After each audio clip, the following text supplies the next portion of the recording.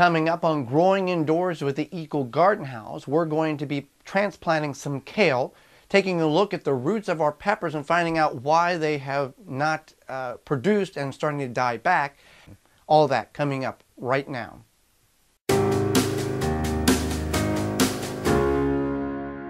Sponsored by Eco Garden House. At last, an indoor greenhouse equipped with complete easy lighting and watering systems. You can grow perfect organic produce and plants at your home all year round. Grow 24 7, 365. You now have no excuses. Welcome to Growing Indoors with the Eco Garden House. I'm Joey Baird. One of the first things we want to tackle is harvesting our cucumber. We have one cucumber that is ready to go. I'm going to lower the light down a little bit. I had it up so I get in there and work in the plants. It's at the top here. Now, when harvesting any fruit of this matter, uh, we, want, we you could twist it off. It's just easier to cut it off. Now, that's a very nice specimen of a pickling cucumber. Now, we do have some issues with the with the cucumber plant because with this particular cucumber plant, it's a pickling cucumber plant, and you have to take the male flowers with a paintbrush or take them and, and contact the female flower to transfer the pollen over so it pollinates the fruit. Well, I did that, did that obviously successful with that one. And we do have these here that did not get pollinated correctly. And this could be because the pollen in the male flower had already was no longer viable when I went through and pollinated all of these. So in order to get more flowers on your cucumber plant, you can cut the water off like we did with the tomatoes a couple of episodes ago, stress it out to where it will put on more flowers. Also by removing the fruit from the stem, that will also help stimulate more fruit production. Now one thing that I would recommend if you're going to grow cucumbers in your eco garden house is to look for a variety that is all female flowers or a non uh, it, it, doesn't it, it pollinates itself. There are varieties that are on the market that will produce all female flowers and all the reproductive parts are in those female flowers in which you don't have to go through and pollinate. So it's it's maintenance free essentially. So we'll go ahead and leave that alone, let that stress out a little bit and uh, allow it to put on some more flowers.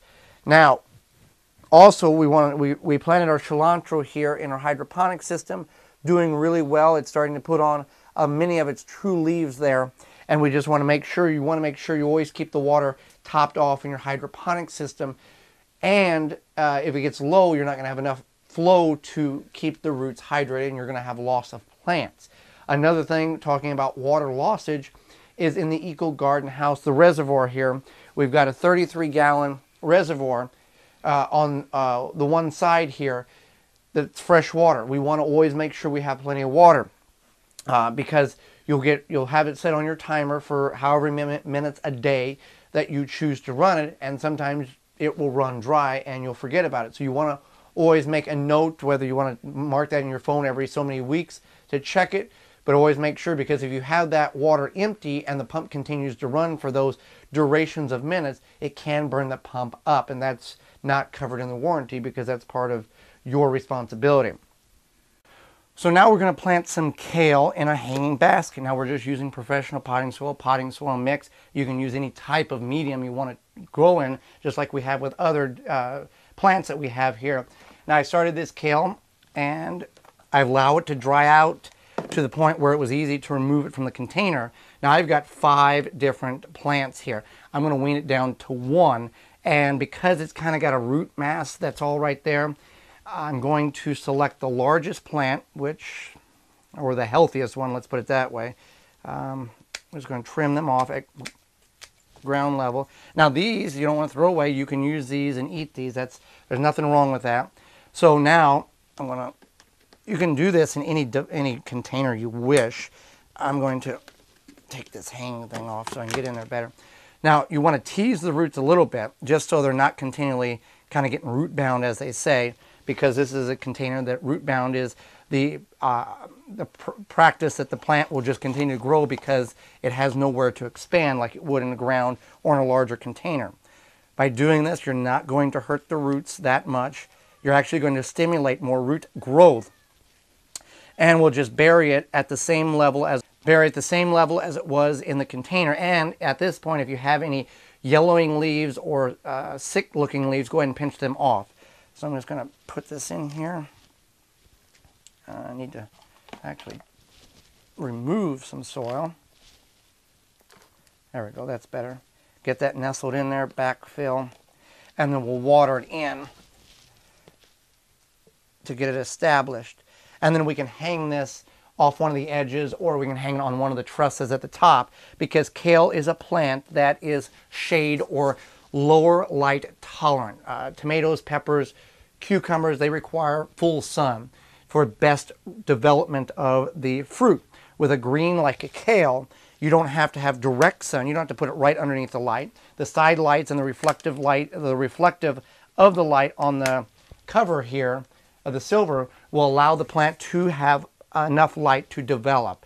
So we're going to hang it, uh, we're just going to hang it right here. And then we'll see how that plant is doing. I have a little drip there, so you kind of want to be careful if you're hanging it uh, over the light there. It's actually going to drip into the beet container there for right now, so it works out really well. So planting the kale, we got that planted, and then we will be able to continue to harvest off that once the plant has started to put on more vegetation. And by trimming it, that will also encourage the vegetation to develop. So there's things that happen in the Eco Garden House as well as in your gardening containers.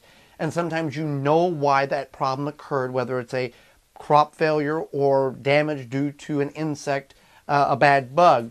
We had planted our peppers one of the very first episodes, and we had uh, Hungarian sweet peppers and chocolate bell peppers, and they have died back. And we're not really certain why. We've kept the water to it, we fertilized them, but this is one of those things that we're not certain why. But the, the plant is still somewhat green, but it's not going to, in my, it's not worth trying to baby it in order for it to come back. There is a tad bit of new foliage that is developing on this, but overall, what we're going to do is we're going to pull them up. But this gives us an opportunity to look at the root development on these plants. Now, the reason why we planted two together is the theory or the the saying in the garden community I've heard is you plant the peppers side by side, pair them up as a friend, and they will produce more. Now, we have tried that here in the Eco Garden House. We've also tried that out in traditional ground garden. Really haven't seen the benefit of the double planting. So this will be a practice we will discontinue because we've experimented with enough that it just doesn't benefit us whatsoever. But we will pull the roots up, the plants up, and if you uh, there, you can really tell just by pulling that they've grown out quite a bit. A yank on the plants, you can see we've got a good amount of, and you can hear they're tearing. So I, you don't have to be like I am here, but I do want to see what kind of root development we have on these pepper plants. And it appears we have really good root development. Now also, and I'll explain this, you can see we've got good loose soil in here as well, and that makes a very important, uh, that's very beneficial that you want a good loose uh, potting soil mix of uh, whatever you choose to. Now with these roots, I'm to shake some more dirt off here. With these roots, there's a lot that can be told about roots, especially if there is really root problems. There's uh, fungal or disease problems. If the roots are discolored, which these are not, these are white. If they have bumps and they're not uh, bumps on them and they're not part of the uh, beans or pea or um, legume family, which fix their own nitrogen. If you see if you see stuff on your roots that do not look normal, then that can be a key factor of why the plant didn't grow or has has failed in growing. But these here are very clean roots. Nothing appears out of the uh, uh, appears uncommon with the roots here. So it shows that there was other issues that uh, caused these pepper plants to die. Um, now they're not truly dead, but they're to the point where it's not worth the effort to try to baby them, like I said. Uh, one way you can certainly tell if a plant has perished is go up, take a cutting, and look inside of it. If there's still moisture and it's still green, it's alive. If it's dry, like a, a, bran- a branch on a tree is broke off, and then then it's totally dead. But these here are are past what I'm I'm uh, feel comfortable about uh, trying to get them to grow. So we'll pull them out and we'll put something else in their place. Thanks for joining me. Join me again next time as we grow more in the Eco Garden House. For more information, please visit thewisconsinvegetablegardener.com.